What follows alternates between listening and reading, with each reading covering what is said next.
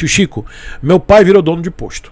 Comprou uma Veracruz 3.8 V6. Super econômica, faz 4 km por litro de gasolina na cidade. Rapaz, eu acho o seguinte: tem os cabra e eu, tá tudo certo. Quem quiser, tá tudo certo. Se o cabra tem um carro mais econômico para rodar na cidade, ou tem um carro ou uma moto mais econômica e quer comprar um carro desse para curtir, tá tudo, e ele tem condição, tá tudo certo. Não tem problema. É a mesma coisa que eu digo para os donos de posto da MT-03. Eu não sou contra o cara comprar MT-03, mas o cara ele tem que saber que a moto não é para uso diário. E o problema é que eu faço a conscientização das pessoas, porque na maioria, os caras que compram MT-03 são lascados, que não tem dinheiro e que usam no dia a dia e não aguenta pagar a moto com seguro, com combustível e fica com a moto só um ano.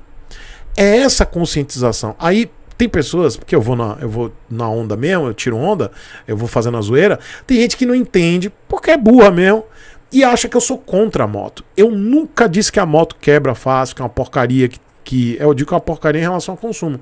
Mas a moto é boa, ela tem boa construção, é durável, é, ela é tudo de bom tem potência, tá tudo certo. Mas a maioria dos brasileiros, tipo a maioria, tô cravando, que compra essa desgraça, não tem dinheiro não tem dinheiro.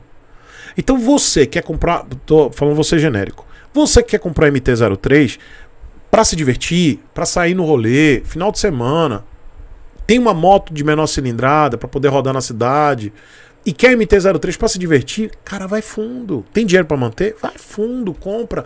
É diversão garantida, baixo custo para quem quer uma moto de baixa cilindrada. Quem não quer pagar muito caro numa moto de 600, mil cilindradas, 750, pega uma, uma MT-03, um R3, tá feliz, pronto, tá, tá, show de bola, tá tudo certo. Mas pro trouxa, que é lascado, não tem dinheiro, pé rapado, pá, compra moto financiada, não tem dinheiro, e ainda fica lá chorando. Uh, aí fica dizendo, ah, porque o cavalo que anda, o cavalo que bebe, aguenta só 12 meses ficar com essa desgraça porque não tem dinheiro para manter e ainda quer usar no dia a dia. Quer usar no dia a dia para provar que ele pode. Esse é o burro. Esse que é o que é o que precisa botar o arreio, entendeu? Botar cela o arreio, porque é trouxa. Mas a moto é boa, gente. Eu não, eu não acho ruim. Mesma coisa que eu digo aí, é, João, se seu pai ele tem uma um carro, né, ou uma moto para uso diário, é a mesma relação. Sabe? É, é a mesma comparação.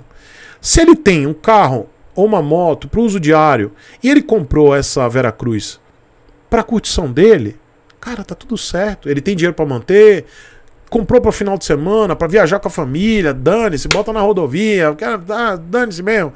Tudo certo, cara, tá tudo certo, é para curtir. Deixa o cabra gastar o dinheiro dele lá queimando combustível. Agora, se o cara comprou, hein, João? Se seu pai comprou esse carro aí, só tem esse carro pro dia a dia, bota uma cela nele aí, filho. E bota todo mundo da família para montar nele aí. Porque esse aí pediu, hein? Mas é isso, cara. A relação é essa. Tá tudo certo. É, eu, eu, eu também não teria problema nenhum de comprar um carro para poder curtir mesmo. Seja um carro velho, um carro novo. Mas eu tenho veículos para eu poder me deslocar de forma barata.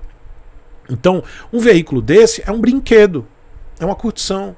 Para quem pode manter, show de bola. É a mesma coisa MT-03. MT-03 não é uma moto racional, é uma moto para brincar. É uma moto para final de semana, é uma moto de performance. Mas infelizmente o brasileiro que não sabe fazer conta, que não tem condição, ele compra para usar no dia a dia. E aí não aguenta. É só olhar no LX aí quantas tem para vender com baixa quilometragem com pouco tempo de uso. Olha lá, faz o teste.